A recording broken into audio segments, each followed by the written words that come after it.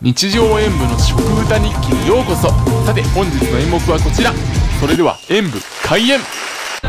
まこちら。マックカフェのスイーツいろいろを食べたいと思います。いや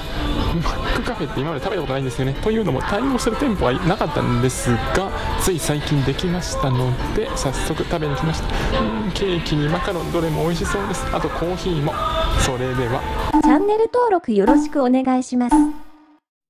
ではまずはこちらのチョコレートマカロンからいただきます。あ今回の全部食べてから最後にまとめて感想いきますね。それじゃマクドナルドのカフェは、はい、いかがかな？初めてなんだろそうなんですよね。今までお店が本当にな気にはなっていたのに YouTube 動画で見てどれだけ羨ましいと思っていたことがでもこうして会えたのが本当に嬉しいです。そしてスイーツもコーヒーも待たされただけのことはありますね。ごちそうさまでした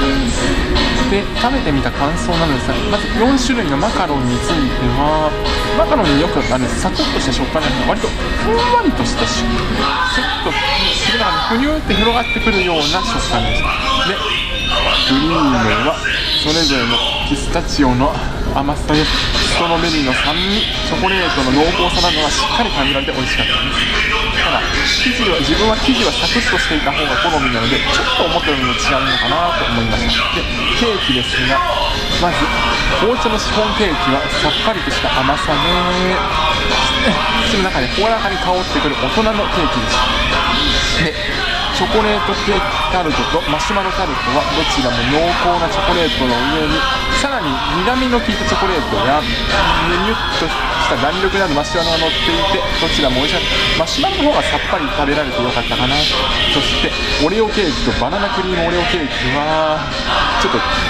焦げるとオレオが崩れて大変なことになるのですがサクサクとした食感とさっぱりとした甘さのロールケーキがクリームがよく合っていて美味しかったです。バナナの方が果物の味もしっかり感じられてより美味しかったですねというわけで今回食べた中だと自分はやはり好きな果物ということもあってバナナオレオのバナナロールケーキが一番美味しかったので代表として5点とさせていただきますご視聴ありがとうございました。コメントしていただけると嬉しいです。演舞終了。本日の演目はお楽しみいただけましたか？チャンネル登録コメント高評価していただけますと嬉しいです。ではまた明日の演目でお会いしましょう。それではさようなら。